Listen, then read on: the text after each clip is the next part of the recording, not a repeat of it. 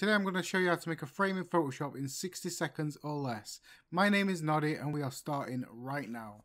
So to make the board you're going to want to start off with the rectangle tool. You want to cover the whole picture with the rectangle. Make sure this rectangle is white, it'll make it easier. Select the rectangle tool again. Cover slightly less than the whole picture. Make sure this rectangle is black. You're going to want to press shift and select both of the layers on the, the right side there rasterize both layers and merge both layers. You want to select the magic wand tool, click it in the middle on the black, press delete, and there's your frame.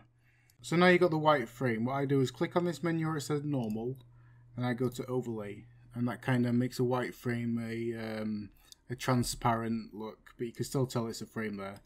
And I right click and go into blending options. This is where the magic happens. So you play around with this menu and you get the frame like as great as you want it to be. Thanks for watching everyone. If you want to see more Photoshop tutorials, if you want to see product reviews or unboxings, don't forget to subscribe and ring that bell. Give this video a like if you liked it, give it a dislike if you disliked it, and comment any feedback, and I'll see you in another video. Take care now. Bye bye.